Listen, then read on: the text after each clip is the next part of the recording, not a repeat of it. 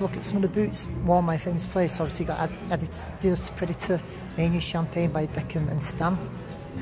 Mo Salah's 2018 World Cup boots. Gerrard's final game custom boots.